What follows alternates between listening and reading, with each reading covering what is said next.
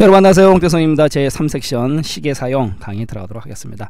자 첫 번째로 이제 오늘 연산자를 처음 배우실 건데요. 연산자라는 건 별거 없어요. 더하기 빼기 곱하기 나누기 기억나시죠? 바로 그겁니다. 그래서 첫 번째로 산술 연산자가 있고요. 그래서 우리가 이미 알고 있는 대로 더하기 빼기 곱하기 나누기인데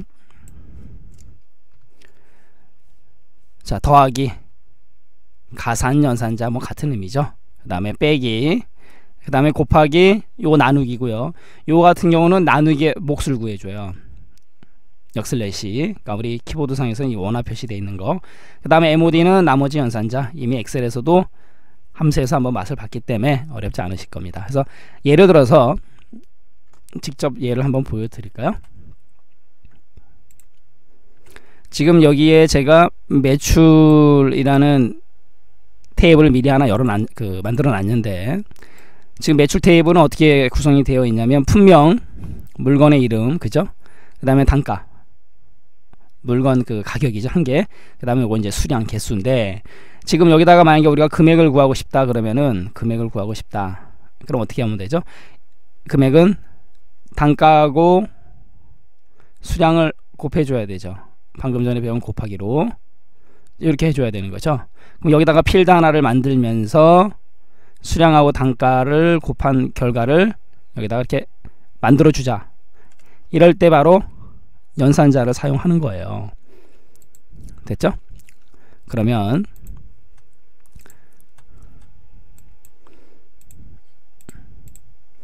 이 상태에서 이제 우리 기억나시죠?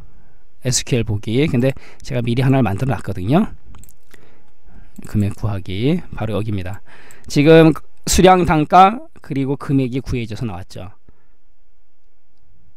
그럼 바로 SQL 보기를 하면 셀렉트 분명 수량 단가 여기까지 다 보여주면서 수량하고 단가를 곱해주면서 이 부분이 중요한 부분이에요. 수량하고 곱하, 수량 곱하기 단가 하면서 별명으로 as, 엘리어스 금액을 줬죠. 그러니까 분명 수량 단가 나오고 요게 두 개가 곱해져서 금액이라는 이름으로 필드로 자리 잡는다는 얘기죠. 계산되고 물론 매출 테이블로부터 자 요럴 때 사용하는 거예요. 바로 연산자가 됐죠? 그래서 이렇게 금액이 결과가 나온다라는 거예요. 자 사용해 보겠습니다. 자 셀렉트 분명 그 다음에 단가에다가 더하기 100을 해준다는 얘기예요. 무슨 테이블? 매출 테이블로부터. 그런 의미고. 그 다음에 분명, 그죠? 그 다음에 단가 더하기 10을 한 다음에 엘리어스, 신단가라고 다시 이름을 줬네요. 방금 전에 한 것처럼. 여기 같은 경우는 단가에서 마이너스 70 한 금액. 됐죠? 그 다음에 여기다 단가에다가 1.5를 곱했다라는 거죠. 여기 같은 경우는 단가를 2로 나눈 거고 이것도 단가를 2로 나눈 몫을 구하는 거고 같은 개념이죠. 그 다음에 이거는 단가를 2로 나눈 나머지 자 이거 같은 경우는 좀 억지로 만든 예제죠. 단가를 2로 나눈 나머지를 구할 필요가 없는데 그죠? 자 요렇게 산술 연산자가 사용이 된다라는 거고 더하기 빼기 곱하기 나누기 그거 좀 알고 가시면 되고요. 그 다음에 연결 연산자 ampersand 이건 뭐 더 잘 아시죠? 문자를 연결할 때 사용되는 거 그래서 여기 같은 경우 분명 단가 모델명 그 다음에 모델명 ampersand 주면서 규격이라는 걸 주겠다라는 거죠. 그 다음 또 가겠습니다. 비교 연산자. 자 비교 연산자도 이미 다 배운 거죠. 자 같다. 그죠? 크다 작다. 그 다음에 크거나 같다. 다른 말로 이상 조심하시고. 작거나 같다 이하. 그 다음에 같지 않다. 같지 않다 조심하셔야 되죠 자, 이 같은 경우도 셀렉트 모든 항목을 다 검색하라 from 매출 테이블로부터 외우는 조건이죠. 단가 이꼴 100. 단가가 100인 것들. 단가가 100인 조건을 만족하는 것만 매출 테이블에서 검색하라 라는 뜻이고 자, 이거는요. 단가가 150보다 큰 거. 그죠? 150보다 큰 조건. 그 다음에 단가가 150이랑 비교해서 150이 더 큰 거. 됐죠? 그러니까 단가가 150보다 작은 조건들. 그 다음에 단가가 150 이상 150 이상 됐죠? 그 다음에 이거 같은 경우도 150 이하 작거나 같은 거 그 다음에 이거는 단가가 150이 아닌 거 아닌 조건 됐죠? 자 요런 식으로 식을 구현할 줄 아셔야 돼요. 그 다음에 논리연산자 가겠습니다.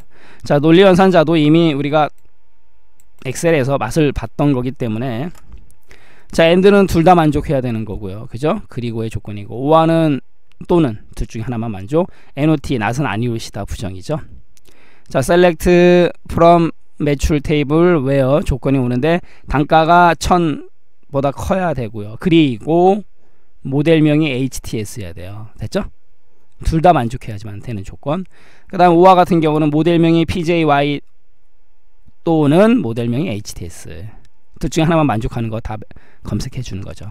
그 다음에 반대 모델명이 PJY가 아닌 것들 아닌 조건을 갖다 검색해 준다라는 거죠. 됐죠? 가겠습니다. 그 다음에 문자 연산자 between and 이것도 아시죠? 뭐뭐와 뭐뭐 사이 between and 그래서 여기 같은 경우 between 100 and 300 그러면 100에서 300 그죠? 100점 이상 점수니까 300 이하의 네코드를 검색해 준다라는 거. between 100 and 300 알아두시고 in 뭐뭐 안에. 그래서 in 100, 300 그러면 100, 300 그죠?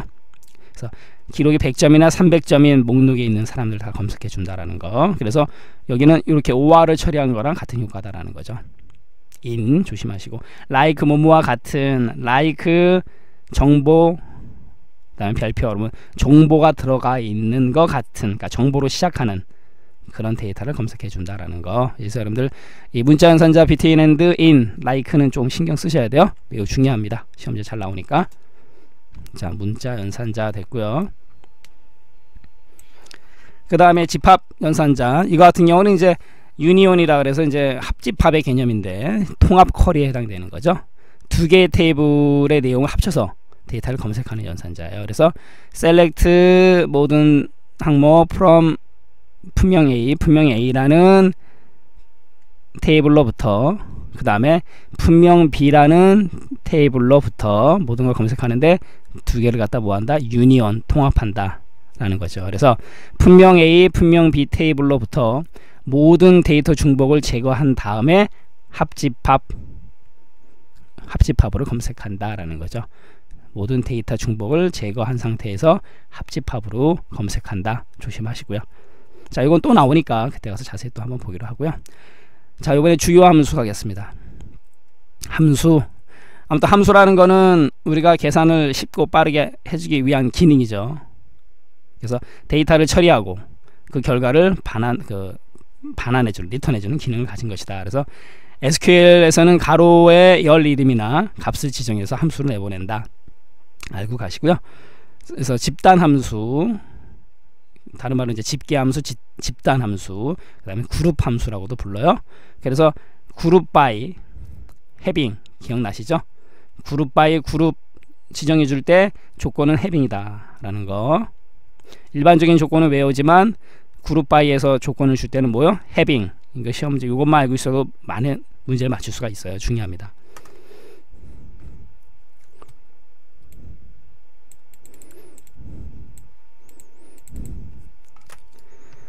자 일단 sum sum이라는 거는 말 그대로 합계값을 구해준다라는 거죠. 그래서 select sum 그 다음에 가로 열고 컴퓨터 그러면 컴퓨터 필드의 점수겠죠. 합을 구해준다는 얘기죠. 성적 테이블로부터 그래서 성적 테이블에서 컴퓨터의 점수의 합을 구하는 거다. sum average, average 엑셀하고는 좀 다르죠. 짧아졌죠.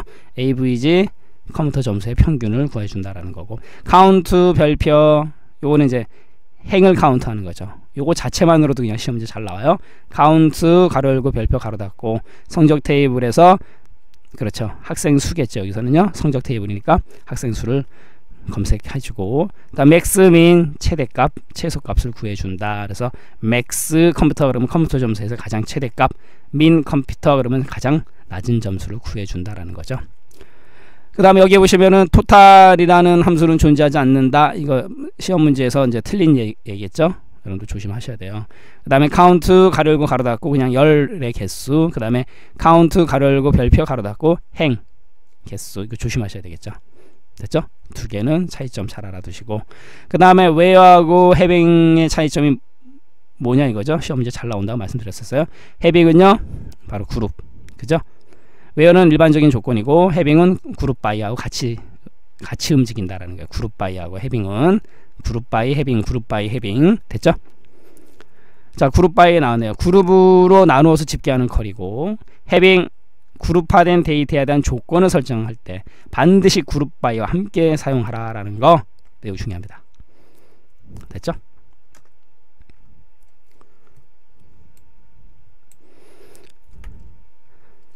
자, 그 다음에 subtotal이라는 거. subtotal 부분합을 구하는 그룹 함수다 알아두시고요. large 몇 번째로 큰 값, small 몇 번째로 작은 값. 우리 엑셀에서도 있었죠. 그다음에 sumproduct 그 요소의 곱을 합하는 거. 또 하나 조심하실 거 사인 함수는 그룹 함수가 아니다. 이것도 또 문제에서 잘못된 보기로 나온 예죠. 이것도 조심하시고요. 자, 이 이야기 한번 볼까요? 직원 테이블에서 직원 테이블 from 직원이 되겠죠. from 직원 직원 테이블에서 직원 테이블에서 근데 지금 여긴 from 인사인데요. 그럼 인사 테이블이 되겠네요. 자, 인사 테이블에서 인사 테이블에서 부서별 인원수가 3명 이상인 부서명을 검색해 보자. 부서명 3명 이상이니까 이렇게 돼야 되겠죠. 3이 돼야 되겠죠. 근데 인원수를 카운트 하려니까는 우리 아까 배운 카운트 가로 열고 별표 가로 닫고가 있어야 되겠죠. 그러니까 부서명을 검색해 보자. select 지금 부서명 검색이니까 얘들은 필요가 없겠네요. 여기서는요. 얘는 필요 없고요. 부서명만 있으면 되고 그 다음에 from 인사 테이블 인사 테이블로 가기로 하고요. 그 다음에 group by 부서명 그렇죠. 부서명이 그룹이 돼 있다라는 거고 그 다음에 having count 3 이상인 부서만 카운트 해서 부서명만 나와라. 이렇게 하면 돼요. 됐죠? 자, 이거는 직접 한번 보여드리도록 하겠습니다. 자 이제 이거 필요 없고. 자 부서명 부서를 가지고 지금 요건데 지금 인사 테이블이거든요. 근데 인사 테이블 먼저 한번 열어서 이걸 보죠. 여기 보면은 지금 부서가 컨벤션과 전산부, 홍보부, 전산부, 교육부, 기획부, 홍보부, 전산부, 광고부 이렇게 쭉 있네요. 그래서 전산부가 하나, 둘, 세 개가 있고 나머지 부서는 세 개가 없네요. 일단 요 데이터를 보셨죠. 자 그러면 여기서 지금 전산부가 결과로 왔어요. 결과로 왔는데 SQL문을 보면 자 select 부서명 부서명을 나타내라. 그죠? from 인사 인사라는 테이블로부터 group by 부서명을 group by 해줘라. 그룹으로 지어라. 그 다음에 having count 해줘라. 3 이상인 거를 카운트해서 3 이상인 부서명만 갖고 와라 라는 거죠. 이래서 아까 3 이상인 거 뭐요? 전산부가 왔다라는 거죠. 이해하셨나요? 그럼 여기서 만약에 부서명 말고 우리가 부서명을 카운트해서 부서명을 그 카운트해서 부서명만 또 오게 하고 싶다. 그럼 이렇게 하시면 되죠. 부서명. 이렇게. 그러면은 부서명이 나오면서 또 부서명을 카운트한 거. 됐죠? 그렇게 나온다라는 거죠. 그 대신 여기는 1로 좀 바꿔볼까요? 1 이상인 대부분이 다 해당이 되겠네요. 실행 이렇게 되면은 지금 광고부는 1, 교육부는 1명, 기획부 1명, 전산부 아까 3명이었죠? 그 다음에 컨벤션 부 하나, 홍보 부 둘 이렇게 나오네요. 그죠? 근데 여기 expression이라고 나왔는데 요거를 다르게 나타내고 싶다. 그럴 때는 여기서 as를 주면 되겠죠 우리가? 알고 있는 별명 as 어, 부인원이라고 할까요? 부인원. 부의 인원. 자 이렇게 주고 또 실행을 시키면 부인원 이렇게 나오죠. 됐죠? 이렇게 해서 응용할 수도 있다라는 거죠. 자 됐고요. 요번에 문자열 함수 가겠습니다 자, 아스키 문자 코드로 돌려주는 거고 아스키 문자 코드로 되돌려주는 거. 그다음에 char 캐릭터 문자로 돌려주는 거죠. 그다음에 concat 문자 열을 연결해 준다. concatenate의 약자 약자고요. 그다음에 instring instring 시험지 잘 나와요. string 안에 in 이런 뜻이에요. 그래서 문자열을 검색해서 위치한 자리수를 구해줍니다. 이거 시험 문제 잘 나오니까 잘 알아두시고요. 다음에 레프트 문자의 왼쪽에서 지정한 수의 문자를 표시한다. 다음 len 랭스 길이 우리 한번 봤었죠? 문자열의 길이를 돌려준다 중요하고 자 right 오른쪽에서 문자 빼오는 거죠. 다음 mid 몇 번째에서 몇 개. 엑셀에서 배운 거. 그 다음에 str 수치 형식에서 문자의 형식으로 변환해 주는 거고. 그 다음에 이거는 str 길어서 좀 연결되는 거예요. reverse. reverse 그럼 반대의 이런 뜻이 있거든요. 그래서 지정한 문자열 str의 역순으로 정렬한 문자열을 반환해 준다. 그래서 reverse 그럼 반대의 이런 뜻이 있거든요. 그다음에 UCase 대문자, lower case 소문자. 맞다 틀리다 정도만 여러분들이 잘 구분하셔야 돼요. 그 다음에 산술 ABS 절대값 됐죠? 그 다음에 사인 부호를 구한다.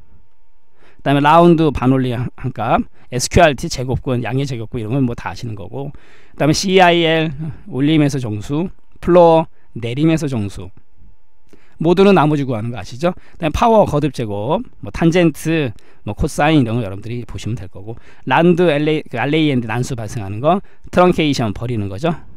그 다음에 여기 VAL 숫자 형태의 문자열을 숫자 값으로 반환해 준다. VAL value의 약자죠. 이것도 조심하시고요. 시험 문제 나온 적이 있으니까요. 자, 이렇게 해서 산술 함수 알아봤고요. 이제 날짜 시간 함수 그 다음에 선택 함수 마지막으로 좀 알아보도록 하겠습니다. 자, now라는 거는 현재 날짜와 시간인 거 뭐 어렵지 않죠. time은 현재 시간이고 그죠? 그다음 date value 날짜의 1년 번호를 구한다라는 거. 그다음에 minute 분 0에서 59분 사이.